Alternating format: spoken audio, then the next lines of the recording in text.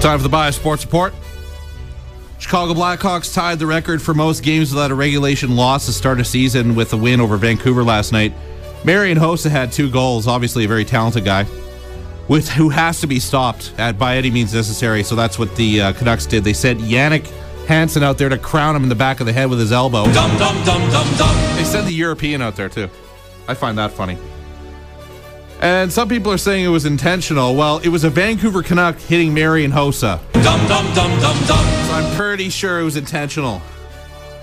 And Kesler's flopping all over the ice in front of uh, Jonathan Toews. How do people cheer for this team? I don't understand it. If, if people on the Flames did this, I would be embarrassed. I'd be embarrassed. Total garbage hockey. Ugh. Evander Kane claims people in Winnipeg don't like him because he's black.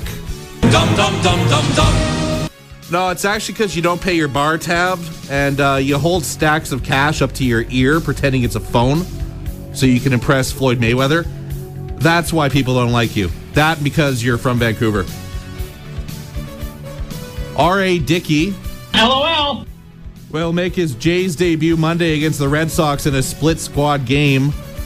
And a lot of people in Toronto are looking forward to seeing Dickey in action. Especially the ladies, because he's you know he's a good pitcher, right? Throws the ball really hard. Meanwhile, Mark Buehrle, feel bad for this guy. He's making his way to Toronto without his beloved pitbull Slater, because stupid Toronto has a ban on pit bulls. They're not allowed. Yet the left Leaf fans run all over the place without a leash. That's not right.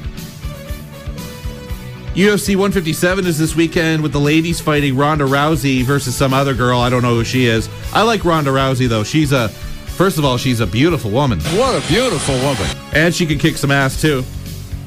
And she's proved the theory that you can have the name Ronda and still be attractive. And of course, this is going to be a big night for the future of women of MMA. She could do a lot for MMA. She could do what the fabulous Moolah did for wrestling. She could do that for the MMA. There's another name that you associate with ugly people, Moolah. And then the fabulous Moolah came along. These women are pioneers, man. They're pioneers. Like Danica Patrick, who won the pole position this weekend. No, that wasn't supposed to be a Horatio. She actually won the pole position. I bet she did. Bet she did. She's a pioneer for uh, lady race car drivers.